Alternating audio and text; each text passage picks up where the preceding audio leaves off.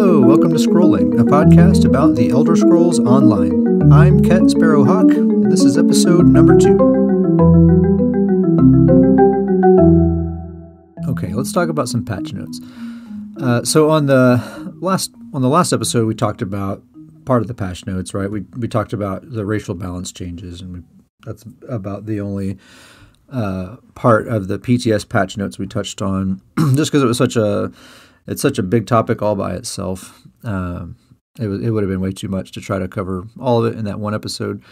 Um, this info is like a week old by this point, but I figure this being, you know, me being new to podcasting, it makes makes great material for me to practice on. Uh, plus, PTS is uh, under maintenance right now, so uh, probably a reiteration of these patch notes are going to come out later today. Um, and so I'd like to talk about the first version, the 4.3.0 patch notes, so that we have the, the full context to talk about the 3.1 or what, whatever the thing's going to be. Um, so that's that's the plan here. We'll talk about these. It may take a while. There's actually quite a bit here, uh, and a lot of it is a lot of it is fairly significant. So I don't um, I don't want to just gloss over everything. I mean, there will be some things I gloss over, but a lot of it is is is noteworthy. Um, so just to remind you, we uh, we talked about this last time, but this is we're talking about the PTS for the Wrathstone DLC. It's coming out next month for PC, uh, which is just a it's just a dungeon pack. So a couple of dungeons that'll have four armor sets each, including monster sets uh, and there'll be some like collectibles and stuff like that. But then, along with the dungeon pack, um, there's going to be a number of balance changes and set tweaks and stuff. Like the the patch that comes along with the dungeon pack um, is going to include a lot of uh, a lot of changes to some stuff. Some some good, some bad. Maybe we'll we'll just have to see how things play out. Um, so uh, so one so here's one thing to point out. There's a new battleground map uh, called Eld Angavar. Looks like it's going to be like an Ayleid themed thing. So probably like Ayleid architecture and that kind of stuff. Uh, and there's going to be two versions of the map depending on what battleground mode you're playing. So uh, capture the res- capture the relic, domination, chaos ball will be on one variant of the map, and then Crazy King and Deathmatch will be on a different variant of the map. And they say like certain parts of the map will be closed off and inaccessible depending on what mode you're in. So that'll be a new, interesting thing. Um, some new collectibles and outfit styles through PvP, uh, either through Cyrodiil uh, Rewards for the Worthy, um, Cyrodiil Vendor. Um, you can also get like it looks like weapon styles from Battlegrounds um, just like just from the rewards that you get from ba- doing battlegrounds. Interesting. Um, there are some updates to some of the Cyrodiil sets, some of the sets that you get as rewards for doing Cyrodiil uh, campaigns, uh, and some of these are quite interesting. Uh, we're gonna, we'll spend a little bit of time on this. Uh, so first one is Deadly Strike. So uh, Deadly Strike currently is uh, just a three-piece set comes in jewelry and weapons.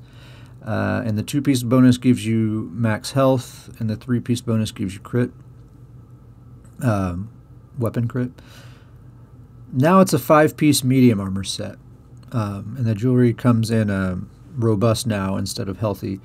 Uh, and so now uh, I'll just read down the set bonuses. Uh, two pieces gives you weapon damage, then you get weapon critical, then another weapon damage, and then the five piece uh, increase your damage, increase the damage of your physical, bleed, poison, and disease damage over time abilities by 14%. So basically, any, just about any dot from a stamina build gets a 14% buff if you're wearing that set. Uh, so that's pretty strong. That seems crazy strong. We'll see. There's actually some a few changes to some uh, of the weapon skill lines later that will keep that in check uh, and we'll see that here in a little bit. Next one, Buffer of the Swift. Uh, so currently, you get 4% healing taken, you get max health, reduce damage from players by 5%, uh, and then the 5 piece when you take damage from a spell, you have a 10% chance to gain a damage shield that absorbs 2580 damage for 6 seconds. That can occur every 4 seconds. Um, and now the new rework is uh, you get max magicka, physical resistance, spell resistance, and then just a flat reduced damage taken from players by 10% as your 5 piece. So a total rework, uh, basically. Um, that's they made this set better, plain and simple. The when you take damage from so the the old one or it's the current one when you take damage from a spell, so a magicka ability, you have a ten percent chance. So already a ten percent chance only for magicka based skills. It's a pretty low proc chance, and then you get a a twenty five eighty damage shield. I don't know if that tooltip there is reflecting uh, battle spirit or not. Uh, if not, then that's just a, a nothing shield just it's useless. Uh, even if that is reflecting battle spirit, that's a um, not a large shield. I mean, I know it refreshes. It can refresh every four seconds if you're taking damage from a magic ability at that time. Um, but still, that's weak. Weak set. Um, now it's strong. The five piece, you just take 10% less damage from players all the time no special when you take damage from this or anything. It's just temp- players do 10% less damage to you, no matter what kind of attack they're doing. Um, I, I, wonder if that counts tor- uh, towards Oblivion damage. I wonder if Oblivion damage ignores that. Uh, I think those are probably pretty use- useful stats here too.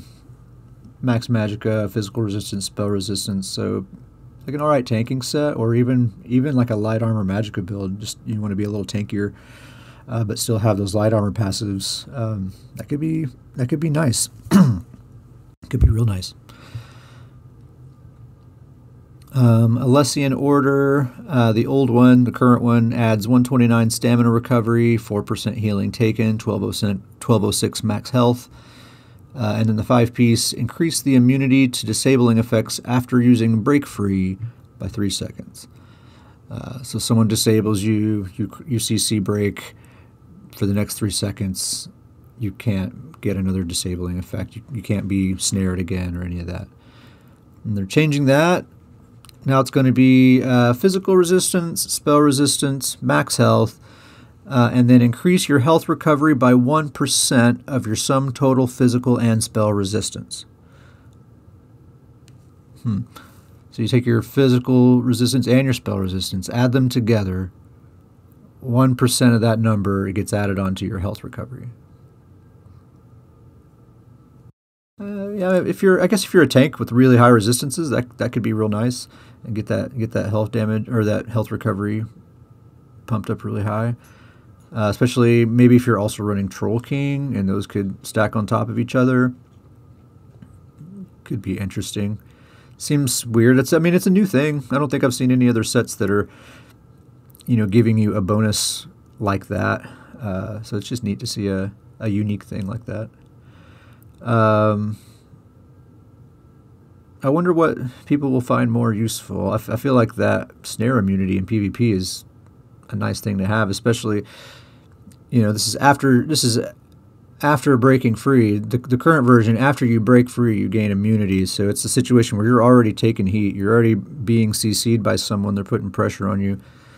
Uh, and you break free you at least have three seconds to breathe a little bit and maybe hopefully turn the tide uh, i tell you if you're fighting a dragon knight like a magicka dragon knight be a good set to have uh, so now you're trading that for this health recovery. And see the old set that could be useful for anyone really. Just about just about anyone could put that set on and get good use out of it. And it seems like this new one now you basically just need to be uh, a tank with high resistance to get usefulness out of that. Maybe there's some math I'm not understanding. Um, you know, we'll see. Maybe maybe maybe some people do some testing with that and and make clarify some things. This one's kind of interesting. Beckoning Steel. Um, the current one, you get spell resistance, max health, and spell resistance. Uh, and then for the five piece, you have a 40% chance to intercept any projectile cast on an ally within five meters of you. Uh, so like a PvP tank. Um, you're a tanky dude. You can take some hits. You have some squishy buddies nearby you. Well, if someone's shooting them with with some kind of projectile, forty percent chance that it, you'll just take that hit instead. Um, if they're within five meters of you, so they need to be close. Uh, they're changing that. The new version will have uh, spell resistance, max health, and physical resistance. Um, so balance, kind of rounding out those bonuses a little bit more. And then number five, you generate an aura that causes you and 11 group members within the aura to take 10% less damage from projectiles. You can only be affected by one instance of beckoning steel. So you can't have multiple people wearing this set and then you take 20, 30, 40% less damage. You're only going to get the, the 10% less damage from projectiles. That's, that's all you can get. That's interesting. It doesn't say, I wonder how big that aura is going to be. I mean, to hit 11 people, it's surely not going to be the same five meters that it, that it currently is because it's going to be hard to pack 11 people in that tiny little space, especially for an extended period of time. So hopefully it's pretty big, like maybe like a 28 meter thing. Or, you know, maybe that's too big, but, you know, big ish would be nice. Uh, and then your group is just taking 10% less damage from projectiles. So snipes, might, that might be the difference between them surviving a snipe or not. Yeah, I could see that being useful, especially if it covers a big area. All right. Here's the one everyone's talking about Curse Eater. Current version adds 1206 max health, 1096 max magicka, 129 magicka recovery, uh, and then the five piece reduces the duration of all negative effects applied to you by 20%. So that's being changed. Um, the two piece, you get max magicka, uh, and then the three and four piece both give you magicka recovery. So uh, you're, you're losing that health bonus uh, and basically getting a, an extra recovery in its place. And then the five piece, here it is. When you heal yourself or an ally, remove two negative effects from them. If a negative effect was removed this way, your target restores 150 magicka, and that can happen every two seconds. So I don't know how many of you guys do PvP on a regular basis, but uh, if you've spent any time there at all, you know that everybody has a heal over time, at least one heal over time ability ticking on them at all times. Um, so that's basically if you're wearing this set, it's just an automatic every, uh, an automatic cleanse every two seconds, all the time. You know, like in Cyrodiil, people are spamming mutagen left and right. That thing's going on everybody. You got people hitting vigor all the time. You have Templars putting down their extended ritual. Uh, you know, a lot of people have rally. There's a lot of hots. Every single solitary player who is like not a total noob has at least one or two hots running constantly. So you put this set on, and you and then you just don't do anything different uh, with your strategy. You just play the same way you always have, and you just have an automatic cleanse every two seconds. Someone hits you with poison injection, you you'll take two ticks of that, and then it's gone. Someone hits you with poison injection and rending slashes. You'll take two ticks of each, and then they're both gone. Templar hits you with um, power of the light. That doomsday clock starts ticking down. Well, don't worry, it's gone in two seconds. You get uh, what is it? The um, elemental drain the debuff, it'll be gone in two seconds.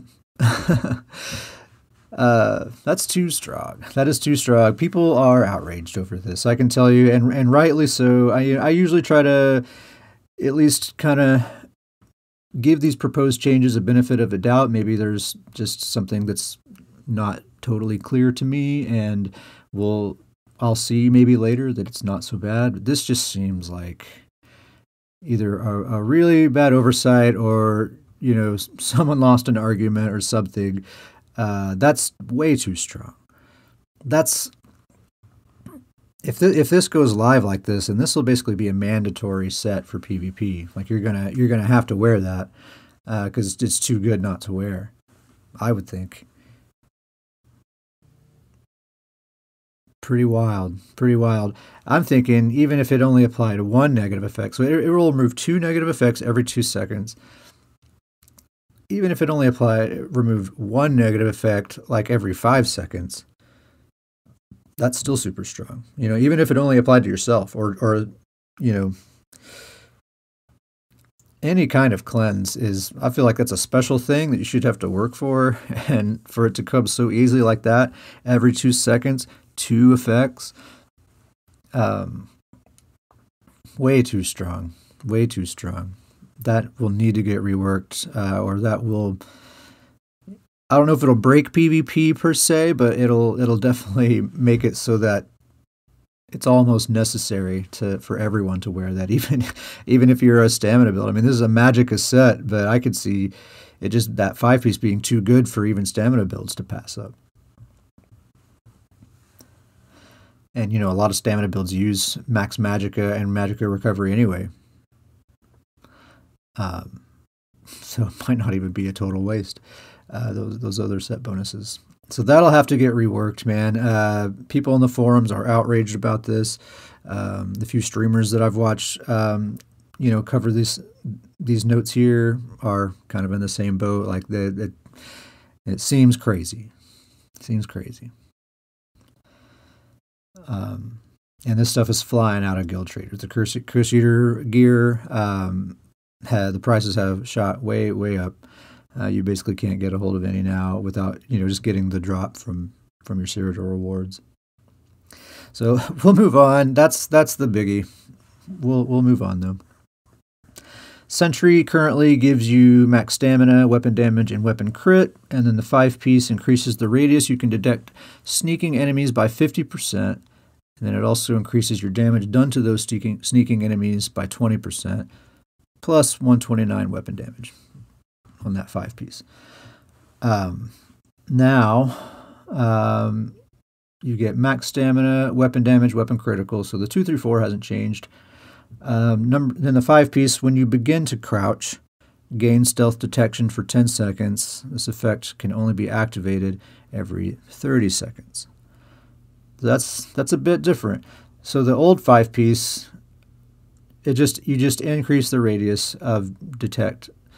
So you don't have to do anything. You just run around, sprint around, and you have that 50% increased uh, detection radius all the time. That five piece bonus is just giving it to you all the time. Um, now you actually have to do something. You got to hit that control key or whatever the controller equivalent equivalent is to to to crouch. Now it says when you begin to crouch. So I don't think you actually have to go all the way into stealth. You just have to tap that control key to start going into stealth, and then it starts that 10 second detection timer. And then after that 10 seconds is over, you have to wait another 20 seconds before you can do it again. Now I wonder if you can just stand right back up, like you hit the control key and then hit it again and stand right back up, and that 10 seconds of detection keeps ticking. I don't know. That's I mean that's a nerf for like a Nightblade hunter. You know, if you're like a ganker hunter and you're you get a lot of enjoyment for um, with pulling those dudes out of stealth and, and taking them out. Um, it's going to be a little more difficult to do that now if you were depending on this set to do that. I think flavor wise, it probably kind of makes sense if you're like a if you're hunting a hunter you know then you yourself probably do need to be kind of stealthy and sneaky to because you're like tracking them down you know um, so flavor wise it makes sense that you can't just be like you know put on rapids and sprint all over the place and have all this crazy uh, stealth detection it seems like you know like in the real world you would need to slow down and pay attention to your surroundings and stuff to be able to, to detect people um, so flavor wise that makes sense, but fun- functional functionally that's definitely a nerf for sure. I think it's okay. I, have never really uh, personally I've never really tried to be like a Nightblade hunter, so it's not going to affect me. But I know some people do really enjoy doing that, and I, I could see that being fun because Nightblades can can be annoying. All right, that is that's the set changes for the Cyrodiil sets. Uh, I think most of these are pretty fine, um, but that uh, that Curse Eater, I'm sure they're getting some feedback on that. We'll see that. Like I said, there we should be getting some new PTS notes later today, and I'm I'm really hoping that Curse Eater has been addressed there. Um, that just seems like a very clear standout thing that that that it can't go to live like that. I'm, I'm amazed that it even made it to PTS like that, honestly. Um, oh, sorry. And with Sentry, uh, the new bonus, you still do have that extra 129 uh, weapon damage for uh, additionally on that five piece as well. So you, you're not losing that, but you do lose the 20% damage done to sneaking enemies. So yet, yet again, a nerf. Not only do you ha not have that stealth detection all the time, you have to do something for it, and then there is a cooldown. Um, but then you also don't get that 20% damage uh, to those stealthed enemies. I think that's probably fine. I mean, if if you're tracking down a stealthed enemy, uh, chances are they are a glass cannon nightblade, and you're not going to need that 20% uh, to take them out. It's just going to take a, a few hits, and they're and they're gone most of the time.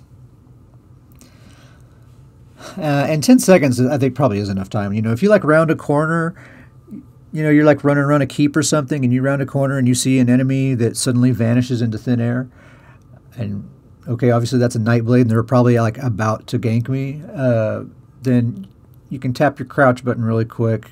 10 seconds should be plenty of time to pull them out of stealth and, you know, either take them out or, you know, at least get your defenses up so that you don't get ganked. All right, moving on from sets. Um, they're uh, introducing a zone guide. So I guess we could call this an exploration buff. Um, so when you're just in the PVE zones, out, out in this, the regular game zones, um, when you look at the map, there's just new sort of objectives that they show you. The, their idea was like, it's hard for especially like a somewhat inexperienced player there's so many options so many things to do you can get kind of paralyzed with indecision. You don't know which direction to go and how you should prioritize things.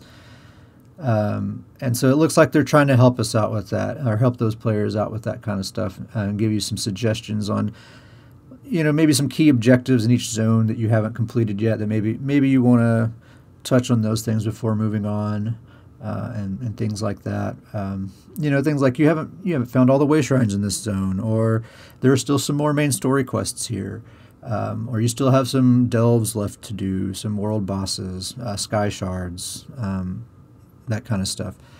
Um, again, that's stuff that PC players um, can get from add-ons, um, but now it'll just be built right in. So those console players will have a nice little quality of life improvement. And again, if this is good enough that allows me to uninstall an add-on um, for my PC uh, version of the game, then all the better. Fewer add-ons, the better, just for performance. Um, so that's cool. It's very cool. Uh, another quality of life improvement, especially for console players, and this is a big one. Um, Guild Trader UI improvements. Uh, and I'm just going to straight up read these because every single one of these points is really awesome.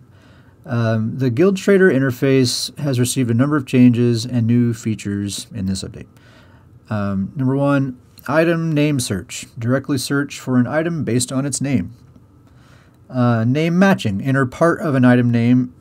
Sorry, entering entering part of an item name displays a list of all matching items, so you can still hone in on what you're looking for without knowing the complete name.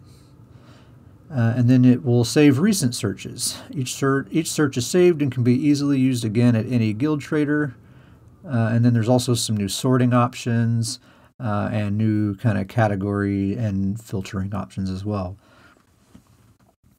So console players are rejoicing, are rejoicing, right? Any console player who's heard about this, uh, um, who deals with guild traders with any kind of regularity, uh, tears of joy, I would say. Uh, if you're a PC player, PC players again, we have add-ons to take care of this. We have an add-on called um, Awesome Guild Store, and it basically does all of these things that it's saying here. Um, but again, if this is implemented well enough that I can uninstall that add-on, few, fewer add-ons the better. Absolutely. Uh, console players can't. They don't. There is no add-on for console players. So if you're if you're a PC player that's been using Awesome Guild Store, you know it, it's probably been a while, and you may have forgotten what the Guild Store is like without it. You know, you might just for just for the sake of experimentation, just disable that add-on. Disable Awesome Guild Store. Go visit a guild trader and just see what that UI is like. It is laughable. It's just it's like non-functional. I mean, like the number one item here that they're adding to the to the UI is item name search, right? That's the number one thing that they put that they're that they're adding here. So there is no item name search right now. Um, the sorting is really bad. It's it's really bad. It's like you have to be really dedicated to the task to find all the pieces that you're looking for, find all the um, whatever potions or glyphs or whatever, it takes a while, especially if you're trying to put a whole build together. Like you just maybe you just got an alt to max level and now it's time to go get all the gear that you want. You know, sometimes I'll go straight to a guild trader and just buy all the pieces that I need. Um, that's difficult to do without this awesome guild store add-on or without uh, you know these UI improvements that are coming here. It can take a while to get all that stuff and all the glyphs that you need and, and all that. Um, so good deal there. That's that's going to be such a nice thing. Um, moving on, there's two new houses. Uh, I, I normally wouldn't spend much time on this, but one of these are uh, one of these is pretty interesting. Um, this Elinhir private arena, and it seems like it's kind of like a a PvP themed house. Uh, it says this remarkable home includes levers that activate various environmental hazards in the middle of the arena.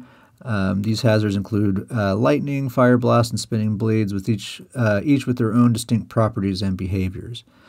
Uh, and they're saying this place was built by this pit fighting promoter guy in this private arena um, in these haunted ruins because the land was cheap and what could go wrong? That's what it says. Um, so that's cool. It seems like maybe you and your buddies, maybe maybe you could invite someone to duel and count to 10 and go find your starting positions and then you have all these levers and hazards and stuff to mess with each other with. That'd be really cool. It'd be neat to see them take this a step further. I was watching um, a Fengrush stream last week and he was he was musing with an idea that I thought sounded really neat, which is if in player housing in like in the housing editor, if they just gave you the option to toggle on aggression so that basically it's a PvP zone, and you can just anyone who's in there, you can just attack people as though it was uh, PvP. Uh, you know, without having to invite them to duel and all that sort of stuff. I could see player houses turning into these really awesome like death mansions, right? Where you invite some guild mates or some friends to your player house, and you have like a five player everybody versus everybody death match. Uh, and you know, I know you've seen some people get really elaborate with their their housing decoration, you know, and they'll use just like a thousand wooden planks to build some crazy thing that maybe you you, you couldn't imagine. Uh, so I can see some, some people really coming up with some interesting stuff for like a cool PvP death maze kind of environment, uh, and then just toggle on aggression and invite some friends over and just go nuts beating each other up uh, and having these cool little secret passages and, and ways to hide. Uh, that could be that could be very very cool. Um, that's just absolutely zero indication that anything like that is happening. That was just an idea that Fengrush was saying, and uh, that's kind of that thought has stuck with me. That would be cool. I would like to see something like that, and it seems like it wouldn't be difficult to to code in if they wanted to, but I could also see them having good reason to not want to do that because that would probably cut down on the battlegrounds activity quite a bit. So maybe that maybe that would be something they want to avoid. Actually, still a cool idea, right? This thing is cool if you're into crafting. Uh, writ ward writ writ reward improvements. Um, so instead of only receiving materials from a lower tier than your crafting passive rank, you will now receive a distribution of materials with the majority of the materials being for your current material tier based on passive rank. So you're just getting higher level materials uh, a higher concentration of materials that match your current rank.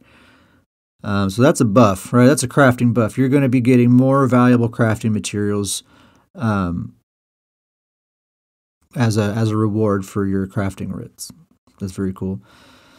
Um, you will also receive a small amount of material for your next tier to allow you to stockpile a bit in advance. So when you rank up, you'll have time. You'll you'll have the materials you need to keep going. That's cool too. They kind of seed you a little bit of advance materials. Like if you're leveling up and you're not all the way to the top yet, they'll give you a little bit in advance. So when you do get there, you'll have some stuff to work with. And then you'll still receive a small amount of materials randomly chosen from a previous tier in order to support making equipment for your lower, lower level characters. So they're just redistributing the proportion of valuable materials or higher level materials. That's a good thing. If you're especially if you're a max level crafter, the vast majority of the time you're crafting for a max level character, I would say, or me anyway. The vast majority of the time, uh, I'll occasionally maybe craft uh, some training gear for an alt that I'm leveling up, or maybe for a friend or something. But uh, it's got to be at least 90% of the time that I'm crafting it's CP 160 gear. So just to have even more of that level of mats coming in is definitely going to be a good thing. That stuff that's going to motivate me to get my the rest of my alts crafting skills um, all leveled up so I can get in on that that gravy train there. It's going to be real nice.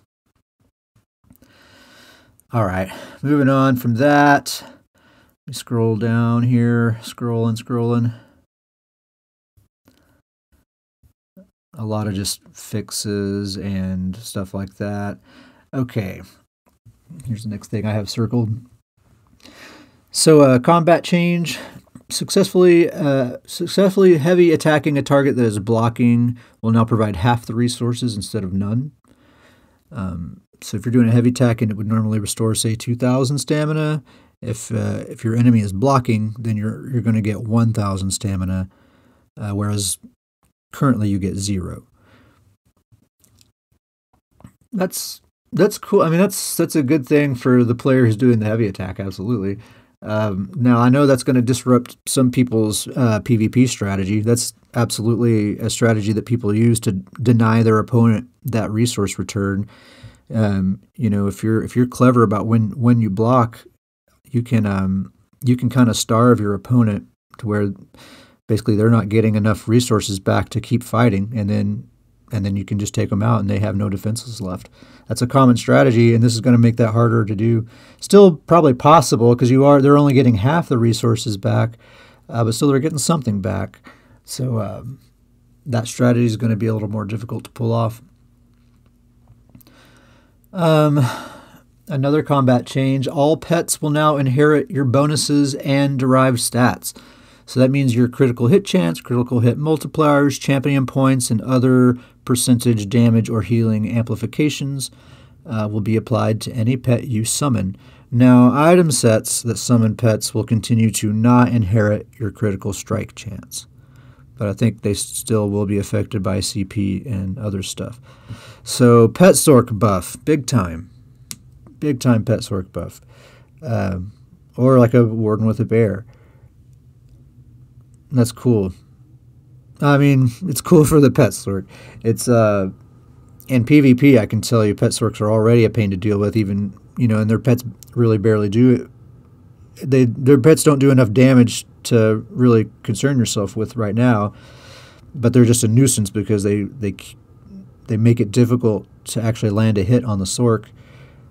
Now you know that'll still be the case. It's difficult to land a hit on the Sorc, but also they're going to be dealing a lot more damage. So they're going to be a lot more of a problem now. And you get these zookeeper Sorcs in battlegrounds that are running around with like you know five pets at the same time. Um, you know it's already a madhouse, and sometimes groups will group up, and you'll have you'll have uh, four pet Sorcs and it's just a madhouse and there's like nothing anyone can do and they don't even have to really be great pvpers you know they just have their pets running around and they can just like kind of heavy attack everyone from them just standing in the center of their little pet army. No one can land a hit on them, and meanwhile they're they're just dishing out damage. And so now, now their pets are just going to be helping that them out even more. That's going to be a, that's probably going to be a nuisance uh, for anyway, for people like me who don't like dealing with pet sorcs or zookeeper sorcs, at least, I don't mind a pet sorc if they have like one or two pets. I feel like I can deal with that. Um, you start getting more pets than that, especially multi- multiple players in a group with multiple pets. It's uh, a lot to deal with. So that'll be interesting to see how that turns out. All right, next change. Um, enchantments on one handed weapons will now be half the potency of those placed on two handed weapons. This will apply to the damage and, and effectiveness of enchants, but not the cooldown. So cooldown will stay the same. Um, most most of the comments I've seen are basically like, yeah, seems fair. you know, it probably should be that way. Um, what I'm curious about is if you choose, like if you do, if you're thinking like, man, I wish I could just get the full potency of just this one glyph, you know, and I'd be willing to give up having two glyphs on my front bar. It'd be cool if they let you do that. If you could put two of the same glyph on each uh, one-handed weapon and allow them to stack, so that you can get that full value as if you really just had one single glyph. Um, no indication that that's the plan, but I think that'd be neat just to give the players that option. Right now, if you have two glyphs of the same type uh, equipped on the front bar on your dual wield, uh, they do not stack. So unless they change that, that that will not be the case, and so you'll basically that just basically won't be a good option to have two of the same glyph. You'll definitely want to have a, two different kinds of glyphs. But I'd like to have that as an option, especially like if you if you know you really are relying on that absorb stamina glyph for your sustain, um, and this is going to make that diff- more difficult, you know, you, would have that choice of just equipping two of those uh, glyphs and get that still get still get that full sustain. So we'll see. If, I, I'm thinking that probably won't be how it turns out, but we'll see. Some changes to major, or some changes to buffs and debuffs. Uh, there's there's a bunch of skills that were their damage was, was being reduced by major and minor evasion, and they didn't intend for that to be the case, so they basically just changed that. So, uh, just a quick rundown: uh, Force Pulse, Overwhelming Surge, Radial Uppercut, Celine's, Sheer Venom, Shrouded Daggers, Bounce Damage, uh, Trap Beast, and uh, Unfathomable Darkness. Uh, evasion was reducing the damage by those things, and now it will not. Those things will still do their, their normal damage as if evasion was not there. And then abilities that provide major buffs that are not associated with healing or damage will now apply to a maximum of 12 targets. Uh, and and here's the abilities that that affects. Frost Cloak will now hit 12 targets instead of just 6, so a buff there. Molten Weapons for the DK affects 12 targets instead of 6, so you get more people there, it's good. Uh, rapid Maneuver now affects 12, star- 12 targets instead of 24, so half the number. Uh, and same thing with Warhorn, 12 instead of 24. Um, so um, basically, maybe trying to break up those Zergs a little bit, um, especially like rapid maneuvers. If it's only hitting 12 people, I guess that's just increasing the chance that some of your people in your Zerg ball might fall behind a little bit and just kind of spread that fight out a little bit more, maybe. Or it'll just require that more people in that group slot rapid maneuvers, which kind of forces them to have a little bit less fighting power, you know, if they're wasting a slot for that. Um, so I don't know. It's interesting. Um, I wonder if that's the motivation there is to get rid of Zergs or to or to help break up Zergs a little bit. Not sure. All right, moving on. So this one's kind of a big deal. There's some uh, changes to uh, some of the sorcerer uh, stuff, and people have been talking about this. Let's just get into it here. Um, updated the tooltips for all summon abilities to better indicate the damage or healing they provide. So as we were talking about just now, uh, pets just got a big buff so they're just updating the description of those abilities to, to tell you exactly how much damage and stuff they're going to do. Um, Boundless Storm uh, and yeah, the Boundless Storm morph, um, the cost was reduced by 34%. It's just much cheaper. It's the only difference. It still does the same thing, just costs way less. Uh, and here's here's the what. This is the big change to Sorc that uh, that has people talking. All right, it's the implosion passive, uh, and it's just as a reminder. Uh, currently, implosion it's a passive, and what it does is it gives all shock spells a if it's max if it's maxed out, it has a six percent chance to instantly disintegrate low health targets, dealing ten thousand shock damage. I think low by low health they mean under fifteen percent. I think. 10,000 shock damage. So it's like a backup execute. Um, and then and then there's a physical damage version of the same thing. So if you do shock damage, you have a, a chance to disintegrate, and physical damage has a chance to pulverize for 10,000. I think it's the same thing, still 10,000 physical damage. Um, that's kind of a signature Sorc thing, right? You get down into uh, execute range. You're fighting a Sorc, and you get down into execute range. It's probably going to be over, right? Because they have that Mage's Wrath that's just so super strong already. Um, and if somehow you survive the Mage's Wrath, you got there's a six percent chance that this implosion is just going to finish the job with the Sorc not doing anything else uh, at all. Uh, and it says, you know, gives all shock spells uh, a 6% chance to do that. So, you know, if they have some dots ticking on you, so, so they say they hit you with that Mage's Wrath and you're not quite dead yet, but you have like two like lightning dots on you, like a crushing shock and liquid lightning, or like just, a, I think even like a shock, lightning staff heavy attack would count. Then all those things ticking away actually increases the chances of this thing procking quite a bit. So it's not just 6% chance that that's going to happen. It might be more like a, you know, a 12 or 18% chance. Um, so now that's that's going away now. It's it's no longer called implosion. It's now after P, after this patch goes live, it's going to be called amplitude. Um, and this passive is now a reverse execute mechanic and increases your damage against targets by 1% for every 10% health they currently have. Uh, so that's a mouse mouthful, but uh, basically the idea is the more health your target has, the more damage you do to them. So when you first initiate a fight, say your your target has 100% health, right? They haven't taken any damage, then you just flat have a 10% boost to your damage against them. Um, just right out of the gate, you, ha- you your sorcerer will do 10% more damage than they currently do to, to targets with full health.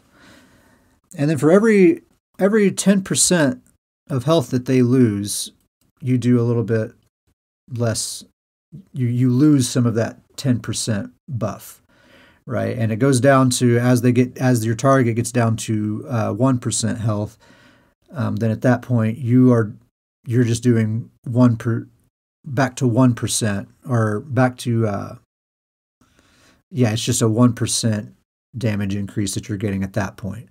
Right? So you're not you're not doing any less damage as a sorcerer than you were before. At no point are you doing less damage.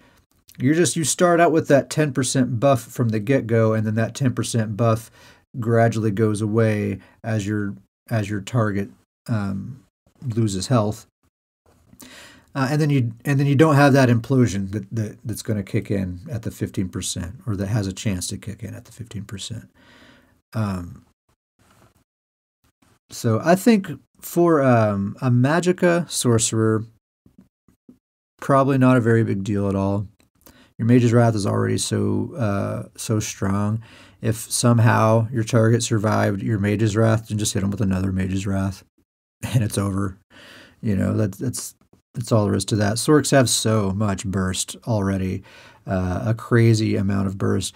And now their burst is just going to be even stronger because most likely, you know, the majority of the fight, you're above 15% health. So that implosion, you know, isn't even relevant a lot of the time.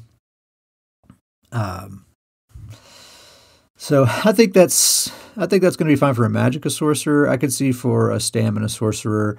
Um, you know, they don't have Mage's Wrath, and if they're not using a two hander, you know, they don't really have an execute of any kind.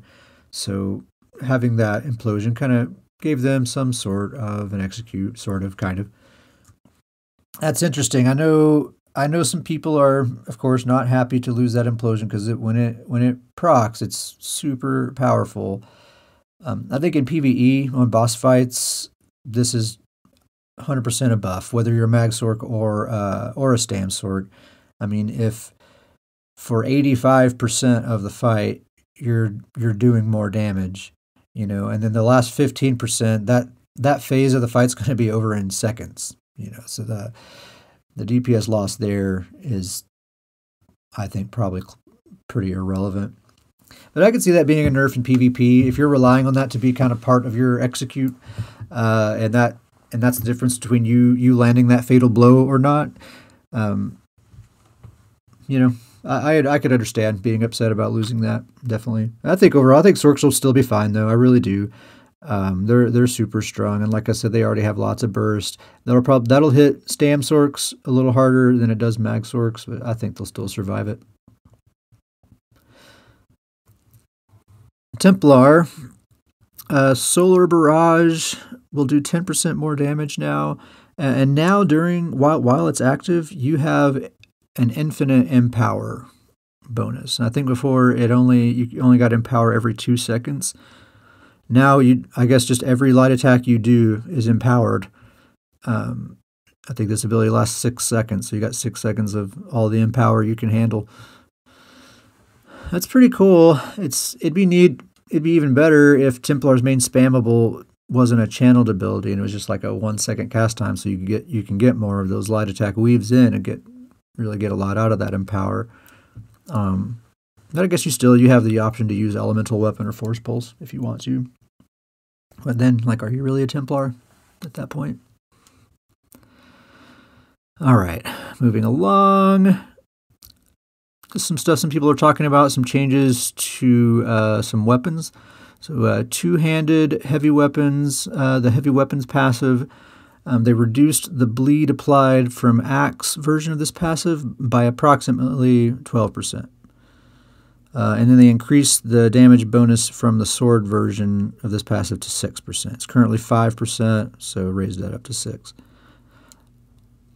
um, so the axe bleed, axe bleed's got a nerf, and you remember one of the Cyrodiil armor sets we talked about earlier gives a either a 12 or a 14 percent bonus uh, to to stamina dots. So it's basically that set is basically giving you that nerf back, basically. Bleeds are super heavy. In PvP, bleeds bleeds are a lot to deal with. So I'm I'm not mad about that.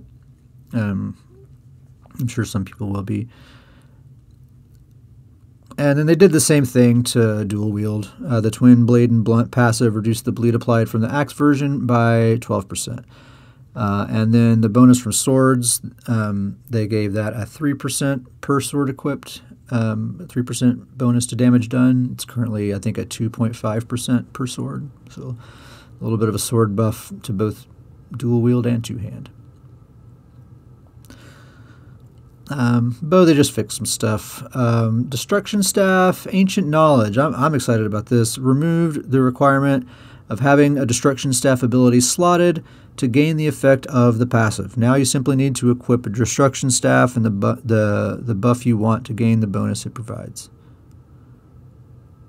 Oh, you simply need to equip the destruction staff of the buff you want to gain the bonus it provides. It's a very strange phrasing.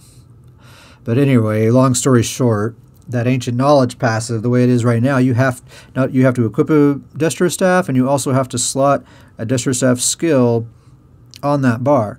And if you swap to your back bar and there's no destruction staff skill slotted there, even if you have a Destro staff equipped, then you lose that ancient knowledge passive until you go back to your front bar where you have a, a, a skill slotted. Um, so now you just have to have the Destro staff. As long as you have a Destro staff, you have the Ancient Knowledge passive. You don't have to slot a single Destro skill, uh, and you still get that passive. So that's that's really great. That really frees up some um, some possibilities as far as how, how you can set your bars up. Um, gives you a lot a lot of new options. So I like that a lot. Um, Moving on, Psijic Order Imbue Weapon. Uh, the resource return from failing to consume this ability will now only return a portion of the resources rather than all of them. Um, fix an issue where you could get more resources back than you had originally cast it with when used in tandem with sources of cost reduction. I know some PvP builds had figured that out, and we're actually using Imbue Weapon not as a spammable ability, but just as a stamina regen method, basically, because there's this weird. I don't know if you can call it a bug or just like a mathematical oversight, but um, you know, they were basically just using that as a sustain tool, uh, which is not what it was intended for. So they they fixed that. Rapid maneuvers was changed. Um, the ability in its morphs will no longer provide immunity to snares or immobilizes. That's a big change, especially so. It also if you remember, it only applies to 12 targets instead of 24 now, also. So it's, it's been nerfed a little bit. Uh, and then the retreating morph uh, no longer will remove current snares or immobilizes, and instead it gives you uh, a bonus that makes you take 15% less damage from behind. so, so it's truly living. It's it's being true to that name, retreating maneuver. It's a situation where you are retreating, you are running away, and you are taking damage from behind, uh, and uh, it's reducing that damage by 15%. But I mean, you don't get that immunity to snares or immobilizes, so what? Someone just has to throw caltrops out in front of where you're running to, and they're just going to catch right up to you, and that 15% reduction from behind is not really going to matter. I don't know. I mean, I'm sure there will be situations where it does matter, but I definitely would. I definitely would take that CC immunity back any day. Absolutely. Um, so I don't know. We'll see. I wonder. I mean, it seems like they're kind kind of trying to break up Zerg balls a little bit. Seems to be the overall kind of goal there. What else? I think that's all the important stuff. Yeah, everything else is just like kind of fixes and uh, things like that. So that's the important stuff for the PTS notes that we did not talk about last week. Uh, you know, the racial balance changes are in here too, but we, we covered those, I think, uh, good enough uh, last time. Um, so, like I said, they're going to probably release the 4.3.1 uh, patch notes. I'm thinking today. They may already be up. Let me see. And then once they, once those are up, we'll do another recording and just talk about what's changed since 3.0. All right. I think we're going to call that an episode. I mean, we got some, uh, a little bit of everything out of these patch notes. We had some set discussion, a little bit of theory crafting, a little bit of news. Um, you know, these patch notes really kind of make a podcast about this sort of thing easy because you just kind of read them, say what you think, and before you know, an hour has passed. um, like I said in the first episode, I'm going to be playing around with the format. You may have noticed this time I didn't have like clearly defined segments. Uh, I just kind of had some stuff I wanted to talk about. And uh, I listened to some other podcasts that that's how they do it, and I like those well enough. And so, you know, I may try that out for size, and we may find that that's better than having kind of clearly defined sh- structured things. I might just, you know, throughout the week jot things down that I want to talk about, and then just whip out my notes when it's time to when it's time to record. Because this felt pretty nice actually, um, not having that that rigid structure that I was trying to follow the first time. Uh, so we'll see how that goes. Anyway, that'll be it for this episode, and um, I'll see you again soon.